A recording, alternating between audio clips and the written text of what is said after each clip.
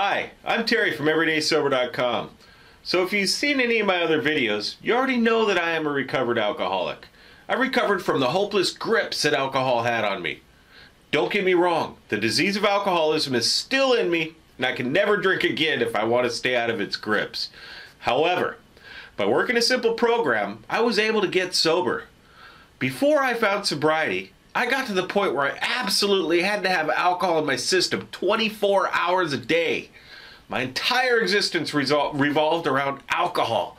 Alcohol was a number one priority in my life. My life was falling apart in every way possible, but I couldn't stop drinking. Maybe the problem was that I liked drinking. I liked the effect alcohol had on me. Even in the end of my drinking, I liked it. But I knew it was killing me. I tried every possible way to quit or control my drinking I could think of, except finding help. Thought I could do it on my own, but it never worked. I was not willing to put in the effort and make the sacrifices and changes needed to get sober. Eventually, I was basically beaten into submission. I decided no matter what, I would do whatever I had to do to get sober. Maybe you're having trouble stopping. It can be very difficult to quit. One of the problems with alcoholism is this insanity that kicks in. We'll keep on drinking despite the negative consequences that happen because of our alcohol consumption. To successfully stop drinking, you really need to want to stop. So maybe you've gotten to the point where you really want to stop. How do you quit? How do you get past the point of wanting, or worse, needing a drink? That was a big stumbling block for me. Every time I would stop, I would not only want a drink, but I needed a drink to get rid of the withdrawals. So, what next? Well, if you've gotten to the point where you really want to quit, you've made a big step. Now, you need to develop a certain mindset, a mindset for getting and staying sober. Part of this mindset is becoming willing. What do I mean by become willing? In this video, I'm going to explain what willingness means and how you can become willing in relation to quitting alcohol.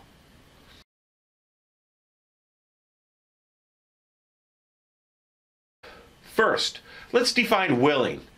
Willing is defined as disposed, inclined, or cheerfully consenting or ready to do something. When someone is willing to do something, their minds become more open and receptive. They may decide to do things now that they didn't want to do in the past. Being willing means they're open to change rather than fighting it. I've been willing to do a lot of things in my life. I remember years ago before alcohol completely controlled my life. Grant you, I was still a heavy drinker, but I was very athletic. I studied martial arts, I ran marathons, I cycled wherever, whenever I could. When a belt test or a fight or some big event was coming up, I would train. I was willing to put in a ridiculous amount of effort to train for whatever event was coming up. In martial arts, I had an instructor. The instructor would guide me in the right direction for my training so I would be successful. I became open and receptive to whatever he told me to do. I certainly didn't like the things, many of the things he told me to do, like the dang wind sprints. But I trusted that if I did whatever he suggested, I, I would do well in the event. This proved to be the case every time that I stayed willing to do what it takes. When I didn't do these things, my event would not go as well as I had hoped. Sometimes I would even fail. I remember one time I was training for this big kickboxing match. This was full contact, two dudes kicking each other's ass. I trained. I trained really hard. But I didn't listen to exactly what my instructor told me to do during my training. I lost that fight. I ended up with a bunch of stitches in my ear. I got my ass kicked because I wasn't willing to do what it takes to train properly. I learned a valuable lesson to be willing to listen to what others and do what they suggest. Now, when it came to drinking, I would never listen to what others suggested. I never became willing to do what it takes to quit alcohol till it almost killed me. In addiction recovery, a person that is willing will put in the effort to do what it takes to get and stay sober. Maybe you're thinking, Terry, how do I become willing to not drink? I like drinking. when I got sober, I learned that I needed to change some of the things I did throughout the day. I started to fill my time with other activities that didn't involve alcohol. Now, I'm not talking about going to five recovery meetings a day or shutting myself in, uh, in my house, afraid to go anywhere because I may be exposed to alcohol somehow. I had to kind of replace my activities that included alcohol with different activities that I enjoyed doing. I mean, if I wasn't going to do things that I enjoyed doing, how likely would it be for me to stay sober? In the past, I liked to go to bars with friends, so I had to figure out something else to do that didn't involve drinking. I knew that going to bars with those same friends and not drinking was just not going to work. I knew I would eventually drink. So in the beginning, I would go to recovery meetings at the hospital and 12 step groups as well. Yeah, I know it doesn't sound like fun, but actually it was okay. Going to these meetings allowed me to know that I was not alone, that other people had the same challenges and stories that I had. I learned that most of these people are actually quite normal. Like me, they just can't drink. I found people that I have something in common with. I started to develop some new non drinking friends. Now, as my drinking escalated, I pretty much stopped going out. I started to isolate more and more. I would stay home, drink, watch bad TV all day and all night until I passed out. So, once again, so I wouldn't isolate, I had to figure out something else to do. I started to get back into the activities that I used to do before alcohol ruled my life. I walked my dogs, I hiked, I bicycled, I got a job that I like. I did things that I enjoyed doing. I started to gravitate towards people that have been successful in recovering from alcohol addiction. I worked hard to do some of the same things that person did to stay sober. I stopped hanging out with those drinking friends as often. And when I did hang out with them, it was doing an activity that didn't involve alcohol.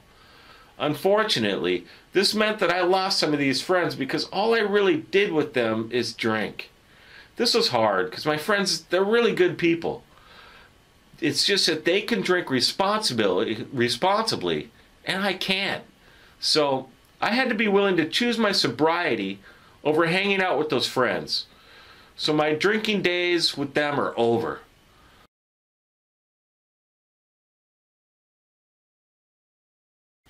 When I first got sober, there were some other basic things I had to do differently. They included things like not going down the liquor aisle at the store, not going to bars unless I had a legitimate reason to be there, staying out of liquor stores, avoiding parties where drinking is prevalent, not drinking non alcoholic beers or wine because there's actually usually some alcohol in these things, looking at medicine labels and avoiding those with alcohol. Basically, I had to make sobriety my top priority throughout my day. These things I was willing to do and not do during my early sobriety were important. In early sobriety, I didn't know what or if some, something or someone was going to trigger me to drink. So I did everything possible to avoid dangerous situations. Now that I've been sober for a while, I've learned what I can and can't do. So these hard rules I set on myself earlier, they're more relaxed now. That's only because I try to work a very strong program of alcohol recovery. I mean, face it, there's absolutely no way to avoid alcohol in your daily life. So you need to get to the point where alcohol is just not an issue. However, I do approach everything with sobriety in mind.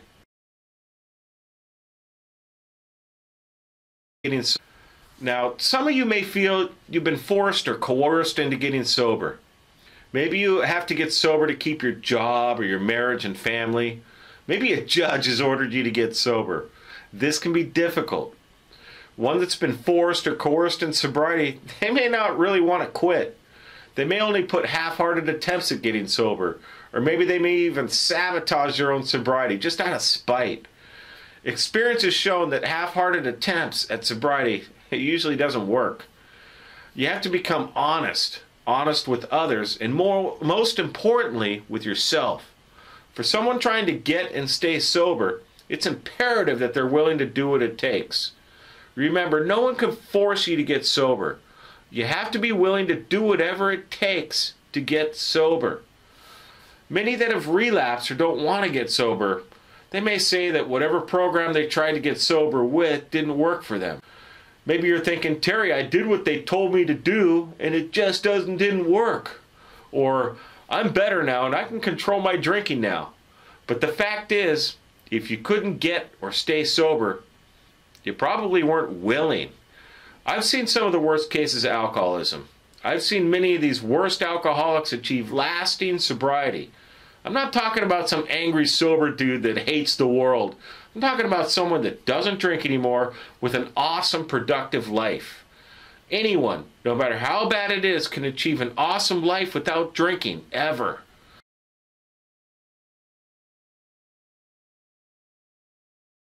Maybe you're one of those that have achieved sobriety in the past and have relapsed. Remember, it's okay. It doesn't matter. The only thing that matters now is that you're willing to get sober again. Start from where you are right now and be willing to do the work. Don't worry about what happened. Start doing the right things to get sober now. Okay, so I've explained the importance of being willing when it comes to getting sober. So now I'm going to show you exactly what you need to do to become willing. There are some very important components that are key. First, as I've kind of already explained, you have to be willing to do whatever it takes to live a sober life. That means being open minded. You need to be open to all the resources that are available. That means things like going to see a doctor to see if you need medical detox. That's huge. Possibly going to a rehab facility. Of course, you may not need a medical detox, but you should at least see the doctor. Be honest with him and figure out your next step. It's important to listen to what doctors, trained addiction counselors, and recovered alcoholics tell you to do. They have experience with alcohol abuse. They've seen it all. They can help guide you in the right direction. Remember in my martial arts story, I tried really hard to train for my fight, but I didn't train the correct way. And because of that, I failed. You need to deal with recovering from alcohol abuse the right way. Second, sobriety has to become a top priority in life. It's easy to fall back into drinking, and it can be very difficult to stay in sobriety. So every decision that you make throughout a day needs to be with sobriety as a top priority. I'm talking things like sitting in the restaurant rather than the bar when you're going out for dinner, or maybe avoiding parties where you know alcohol is going to be present. You may have to go as far as not hanging out with certain friends because the only thing you do with them is drink. Only you can determine what you can and can't do. But I would suggest you start off being on the safe side. Now, this may not be easy, but if you want to stay sober, it may be imperative. Another thing I do to keep sobriety as my top priority is I plan my day. I usually plan my day the night before. After I've figured out what I'll be doing, I check to see if any of my activities might put me in a possible situation where alcohol be- could become an issue. Like what one instance would be I'm a caterer and we often cater at bars. So when I have those jobs, I need to take that into account and make sure I have a game plan what I'm going to drink because I know they're going to offer me alcohol, but I, will pick a uh, plain soda or something like that. But I need to understand that I might be in a dangerous situation, and the temptation may come. So I need to have a game plan every time. Now, another component of willingness and sobriety is taking an active responsibility for your own recovery. Sure, addiction counselors, family, friends, doctors, your boss, maybe even a judge want you to get sober, and they're probably willing to help. But to be successful, you have to be willing to do the work yourself. And finally, one more super important component of willingness is you have to develop a degree of humility. You need to be open minded and understand that you don't have all the answers. You have to listen and learn from other people's experiences. Finally, you need to get rid of any reasons you hear or you tell yourself why you may not try some certain path to recovery. If you're truly willing to get and stay sober, you've got to do whatever it takes. So, I spoke about how and why willingness is imperative to recover from alcohol addiction. I told you how you need to be open minded and develop a degree of humility. But what does that mean? Well, if you're looking for sobriety, you should check out my next videos where I'm going to explain what it means to be open minded and have a degree of humility in relation to recovery from alcoholism. Subscribe to my YouTube channel and check out my other sobriety videos. Give me a thumbs up if you like this video or leave me a comment below. I really want to hear your perspective on the journey to sobriety.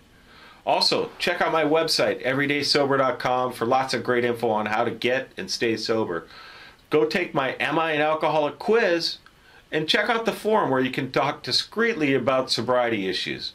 I'm Terry, a recovered alcoholic, and thanks for watching my willingness video.